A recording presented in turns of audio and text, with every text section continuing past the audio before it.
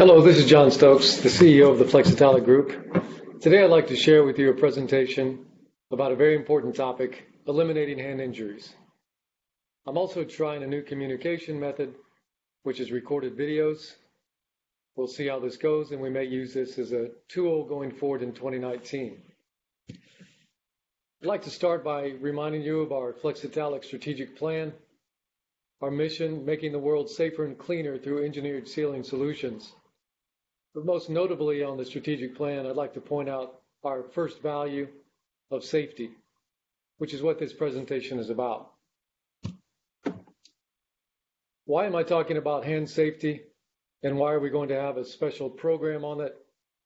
It's to create awareness and respect for the hazards associated with hand injuries and ultimately to eliminate hand injuries in 2019. Of course, we want to eliminate all injuries, but I'm going to shortly show you some data that hand injuries account for nearly 50% of all injuries over the last four years and a growing percentage in the last two years. To achieve our goal of zero injuries and eliminating all hand injuries, it will require commitment from not only the management, but more importantly, from each individual employee of the Flexitallic Group. Here are some statistics safety for the Flexitallic Group. Since the beginning of 2015, the group has had 54 recordable injuries. That sounds like a large number. We have over 1,000 employees around the world, and this is over a four-year span. Compared to industry averages, you may say this is good performance. Compared to our goal of zero, it's not good performance. Out of the 54 injuries, 25 have been attributed to hand injuries. That's 46% since 2015. But 2018, 77% of our injuries have been hand injuries. So if we can focus on hand injuries and eliminate them, we can cut somewhere between 50% and 75% of all the injuries we have in the Flexitallic group and move much closer to achieving our goal of zero injuries. It's worth talking about the effects of hand injuries before we get into some of our other information.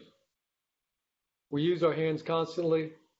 A disabling injury can have a dramatic effect on your quality of life, not only on your job, but on your daily routines and your home life. It only takes a second for the injury to occur, but the social, financial, and emotional effects can last a lifetime. Types of hand injuries are numerous. Our hands are very versatile tools. They're exposed to many different types of risks. The examples are listed here, strains and sprains, repetitive motion, skin irritation, burns, chemicals, and hot substances. But I'd like to point out the last four in particular, because these are the highest risk types at Flexitallic. Punctures from tools and other sharp, sharp objects, lacerations, broken bones from being crushed or falling, and amputations resulting in loss or part of all of the hand.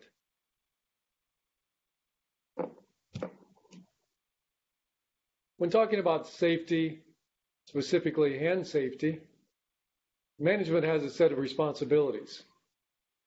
It is our responsibility to create a safe work environment for all employees, develop policies and procedures, make sure the proper equipment is available and the proper tools are available, train employees on the proper use of equipment and tools, train our employees on safety procedures and policies. We also need to audit the equipment, the procedures, and the behaviors and provide coaching and corrective action. We need to follow up on near misses and injuries and implement corrective actions. And finally, encourage open communication so we understand what's happening, what the risks are, and what we need to do to correct them.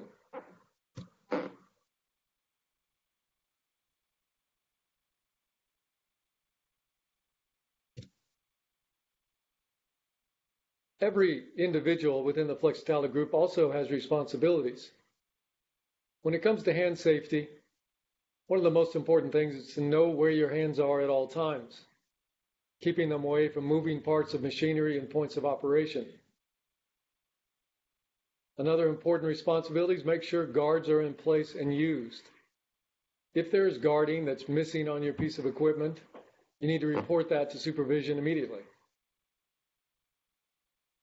Energy sources need to be isolated and equipment needs to be locked out before placing your hands in potential points of contact. Select the proper tools and equipment and protective equipment for the task you perform. Inspect them before you use them and make sure you use them only for their intended purposes. Maintain focus on your task. Repetitive tasks can lead to complacency and ultimately to injury. Communicate unsafe conditions and report all injuries to your supervisors. And do not compromise safety to save time or money. I realize that we have pressures to get production, to ship, ultimately to make money for the corporation, but we're not asking you to compromise your safety to accomplish any of these other objectives. We have done an analysis of the injuries that have occurred in the Flexitallic group since 2015. We do an extensive cause analysis of every recordable injury, and that's given us a good set of data to look at. The corrective actions that are listed on the data I'm about to show you were to be completed by the site where the injury occurred and shared with all other sites to implement proactively. I'm going to show you some charts that have the details of the cause types, corrective actions, grouped by different categories. A number of our injuries occurred on vertical winding machines. We are Flexitallic. We make a lot of spiral wound gaskets, and vertical winders and horizontal winders represent rotating equipment with sharp edges. So it is a risk for hand injury. The incident types we had were pinched fingers, crushed fingers, lacerated fingers. And the root causes, which are very similar root causes from a category standpoint to many of our injuries, procedures, PPE, risk assessment, engineering, training. Uh, these are themes you'll see throughout the analysis. The permanent corrective actions were listed uh, in the analysis that was done by each site. I'm not going to go through each individual one. I will summarize the key takeaways after we go through these details. Horizontal winding incidents, not as many as on the verticals, but we did have two in this time. Similar types of injuries, pinched fingers and lacerations.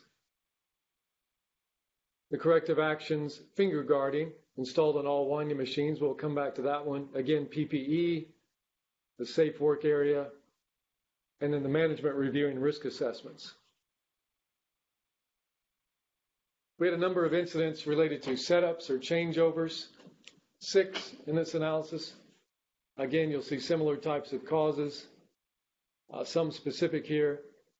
Uh, the anti-slip tape, flooring, that's specific to one of these injuries light curtains where hands can access moving parts. We'll come back to that.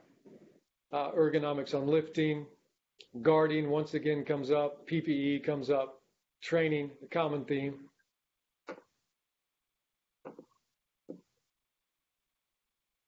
Hand cutting operations. We had five incidents.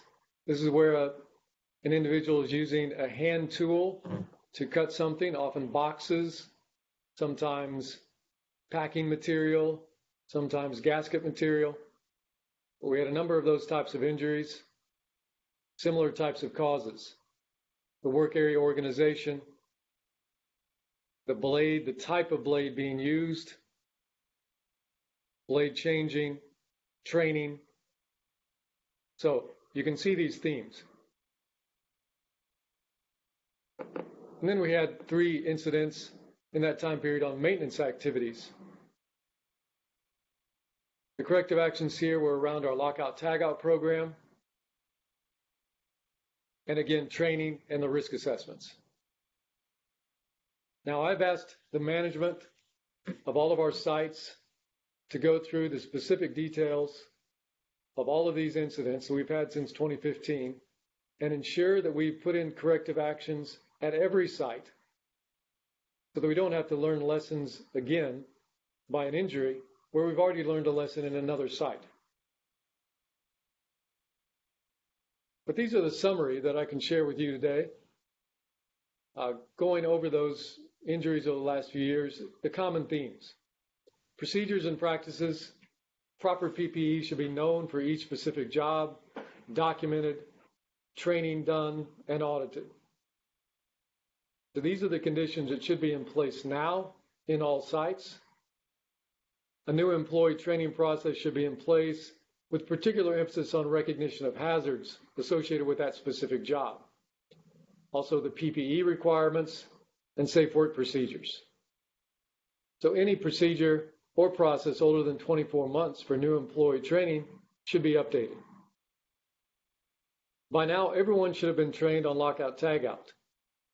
I have asked management to do a refresher training before the end of this year on lockout tagout for all employees and specifically a more detailed training on all of our maintenance employees with the emphasis on understanding that lockout tagout is not only for electrical isolation, it's for isolation of stored energy. That energy could be gravity, could be hydraulic, could be pneumatic, could be a spring, any type of stored injury, energy that can be released and cause an injury. Another takeaway is that each business should have a lone worker procedure. If we have cases where individuals working by themselves, uh, we need to have procedures in place to ensure that should an incident occur, that employee is not left uh, for a long period of time without being monitored. And then finally, management must have a risk assessment process in place. We should be systematically assessing every piece of equipment and work process, prioritizing the corrective actions, and then tracking those actions to completion. In the category of equipment and tools, these are the things that should be in place today. The proper guarding should be in place. It should be used for any moving production equipment. This is winders, presses, grinders, groovers, lathes, etc. The guarding should never be taken off should not be disabled. Where hand access to moving parts is possible, light curtains or two-handed switch operation should be employed, or if that's not practical, a mitigation plan has to be put in place. Appropriate safety knives and cutters should be in use, not standard utility knives or any type of personal knife that the employee may have brought from home or bought at a hardware store of something of that nature. From those incidents, we learned what type of knife, knife is most appropriate. We put that in place in many of the sites. That should be in place in all sites. Specifically around winders, since that's where a number of our injuries occurred, the finger guarding should be installed on all the winders unless there's a specific reason why it cannot be guarded. And then one specific uh, corrective action on a winder is that if you have a knockoff on the winder. It should be painted yellow to highlight the position and awareness.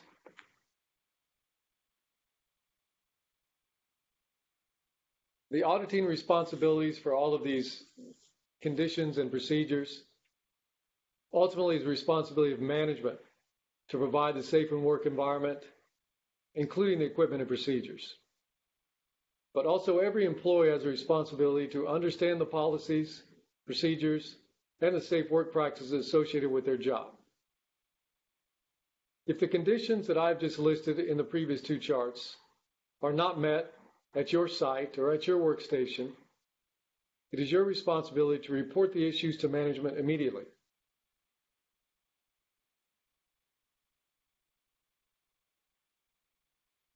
So what are our next steps when it comes to hand safety?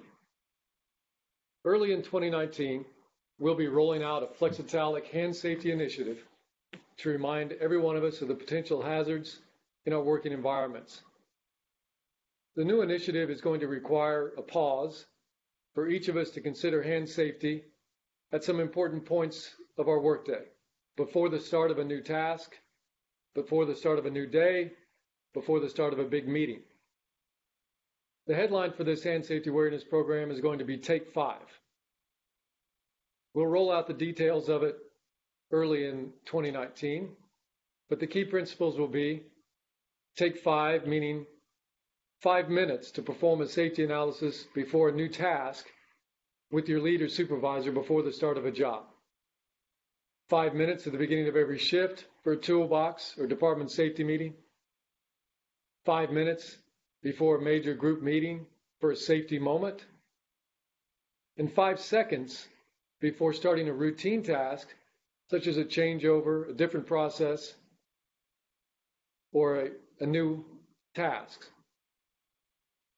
During that five seconds, we're going to focus on five things. Is the guarding in place before starting your task? Do you have the appropriate PPE? Sometimes that will be gloves, sometimes it will not. If you're using gloves, are your gloves in the, in the appropriate condition? Be aware of pinch points. Pay attention to where both of your hands are while working before starting the job, and be aware of rotating and moving surfaces. surfaces. These will be the five things during that five seconds. The idea here is pretty simple that we don't get into a routine where we're doing tasks repetitively. We just take a moment, focus on safety, and in particular, because hand safety is so important to Flexitallic Group, we're going to focus on the hands. So our safety moments will transition to take fives. And out in the shop, in our operations, in our maintenance activities, it'll either be five minutes or five seconds before we start new tasks or new jobs. So that will be coming in 2019.